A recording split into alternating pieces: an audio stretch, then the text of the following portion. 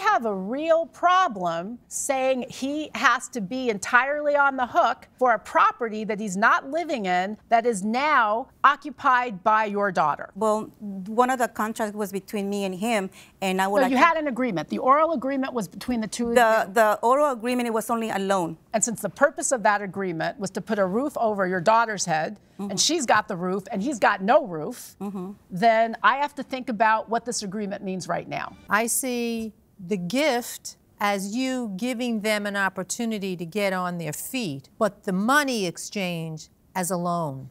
And part of the reason I see it that way is because you did engage in the transaction solely with your granddaughter's dad. Had Yes. you wanted to give it as a gift, I think you would have said to both of them, you know, here's the money, whatever. And something about your answer twice bothers me. I think you live in that apartment because you were very careful to say, as of right now, twice. As of right now, I'm not living there. If you're under oath, if you didn't stay there last night and say, listen, I don't know if I'm coming, you could arrange that. I think you do live there. Well, I haven't been there for the last 30 days. Where were you before? Why are you estranged? Why was this child taken from you? The child was taken from us because of multiple domestic violence. Domestic violence incidents. Is this with you and the baby's mother? Yes. Or what about the child? Because why would they feel the child was in jeopardy to take the child out of the home? Because the domestic violence um, Escalated? it was in the house while she was in there. And Vest decided to take her out of there because they felt it was safer she'd be in the custody of the state than in our custody. Was there ever an arrest with regard to either you or her daughter? Yes, her uh, daughter was arrested first for domestic violence sometime in 2020. And so you were the victim complaining allegedly, in these domestic situations? Yes. She was arrested, and it was at that point that they took the baby from the home? No. They left you with the child, Mm-hmm. and at some point after that, they decided because you went back into the environment,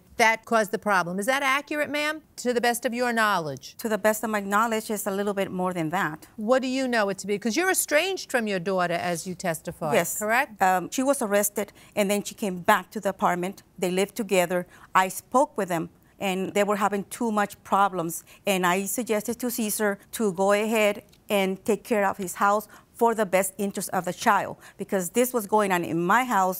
That's why I believe That's why you asked them both to leave to, initially. to move That's out. I- maybe when they have their house, they think. Oh, okay. You know what I mean? Because sometimes when you live with somebody else, Yeah, yeah, you yeah. know what I mean. So That's it's like. very, wi- that was a very wise perspective on it. That and, maybe and, and it was very exhausting for us and exhausting for them too, you know, stressful. Right. And I told them, you know, um, I'll help you, whatever. You know, he asked me for the money. He had that apartment and everything was going great, but they're still having problems. And the toxic situation grew more to the point that she got arrested and then he got arrested. So I've done of them- enough domestic violence in my career to So- know that these situations they don't extricate themselves. It's almost like they are addicted to the fighting and the abuse goes on and on. The child is the one to leave. Apparently, the state saw fit to at least put your child in protective services for a while. But that's why I know you're going back and forth in that apartment. I know that because you guys can't keep yourselves apart. Well, I have attempted several times to have police. You have attempted, but if you're the victim, you keep going back too. So, you know, don't say here that she's the only one living in that apartment. Right, of course. If that was the case, that would be a different impact on how she viewed these facts. And I'm telling you, I know you're living there. I'm not.